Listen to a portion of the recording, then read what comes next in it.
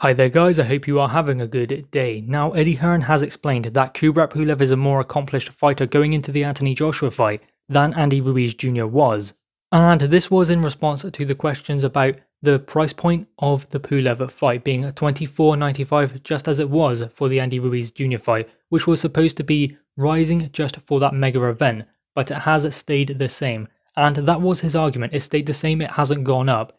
It's the same as the Ruiz fight. And in addition to the fact that fans cannot attend this fight and therefore they need to make up some of that gate revenue that they would otherwise be losing by putting on an extra £5 onto the pay per view, that is how they are going to do it going forwards, or for this particular event to make sure that the biggest star in world boxing, in Eddie Hearn's words, is able to get out, is able to stay active, and so that they can put together this undercard. But the thing that stuck out for me more so than anything else is him saying that Kubrat Pulev is more accomplished going into this fight than Andy Ruiz Jr. was. Now, I do not believe that is correct at the moment, but I believe that when you look at it from the perspective of thinking before he beat Anthony Joshua, then if you look at that resume of Andy Ruiz, then compare that to Kubrat Pulev's before facing Anthony Joshua on December 12th, then perhaps Kubrat Pulev does have the better wins. He has a win over Derek Chisora and Hughie Fury also. He has also beaten the likes of Tony Thompson, who got two victories over David Price. He's also been in there with Vladimir Klitschko, but lost that fight, obviously. And Samuel Peter was well past it when he fought him.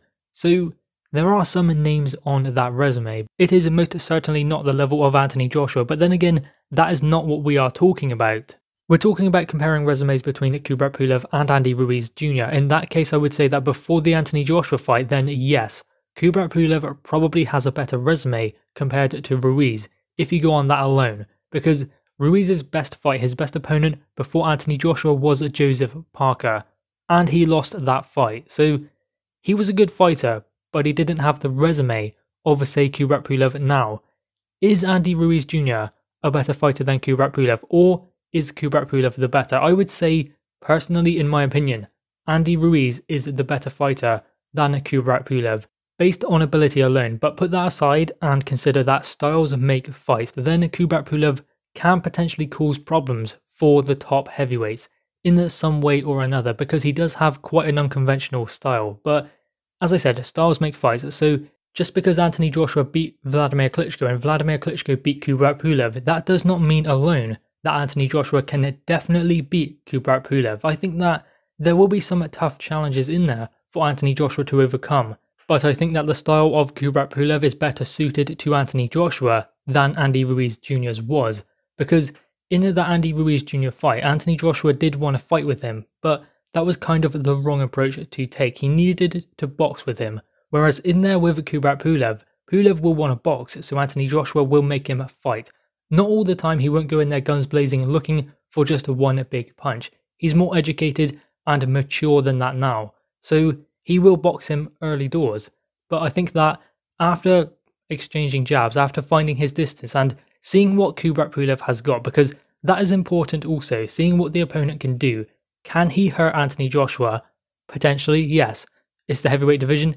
Any punch that lands at the wrong moment can cause a devastating effect. So Anthony Joshua is not likely going to stand there and just let him hit him. But ultimately, once he feels the power of Kubrat Pulev and understands what Kubrat Pulev brings to the table, because you can only really find that out by being in the ring with him.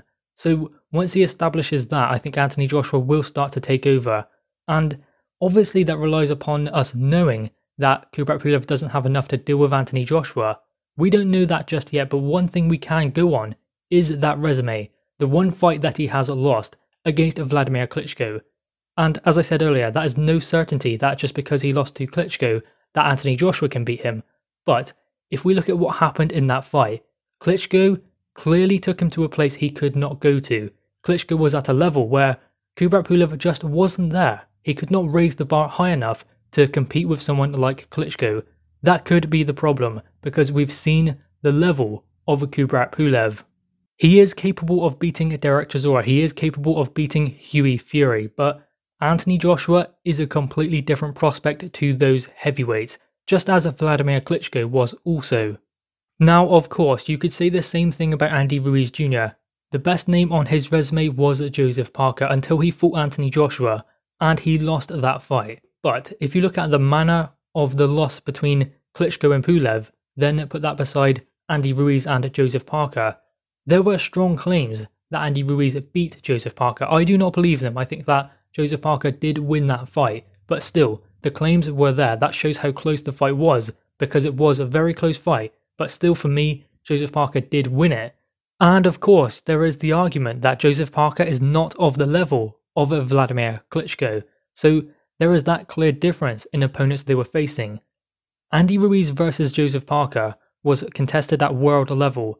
Kubrat Pulev versus Vladimir Klitschko was contested at elite level because Klitschko was clearly an elite level heavyweight at that point, and that was just one step too far for Kubrat Pulev, whereas Andy Ruiz, in the second fight where he lost to Anthony Joshua, he did not look completely out of place at elite level. That is the difference between the two fighters.